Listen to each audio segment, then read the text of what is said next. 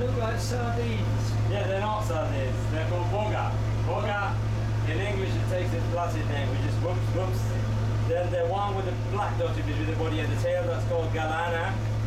And in English, saddled bream. Then, uh, then uh, there's another one with vertical straps as well.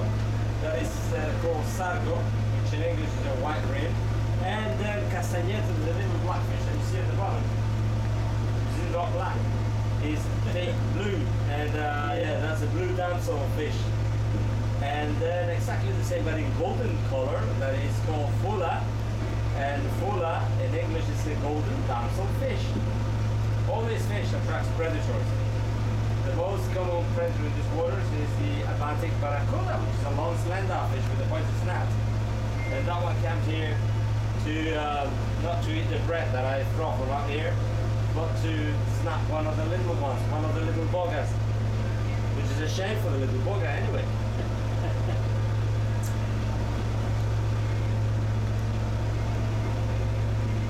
You can see some uh, sea sponges stuck to the rocks, some urchins as well. Then, uh, with luck, you're going to be able to spot uh, an octopus. Octopuses are very difficult to spot because they mimetize, they take the color of the rock which is behind them. Yeah. And the reason why you see everything in dark green and dark gray is because uh, you know that when you go deep into water, the uh, the color spectrum gets lost, and uh, the first colors to disappear are the yellow, uh, orange, red, and then light green.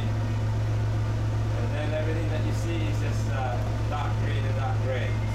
Imagine that you are three meters underwater and you cut your finger, your blood will come out in a sickly green color.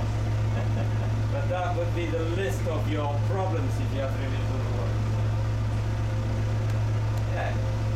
And sometimes, oh look, look, look at the shark there! Quick, quick, quick, quick, quick! The shark there, next to the turtle there, behind the mermaid. Yeah.